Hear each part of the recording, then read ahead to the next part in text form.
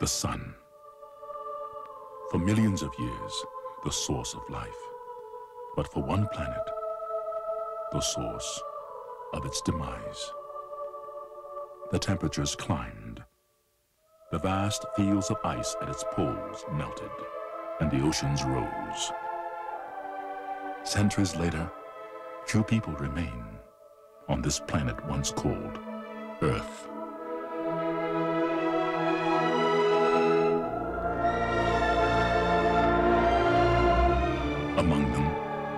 Man who still searches, a woman who still hopes, and a small child who carries the secret to a new beginning.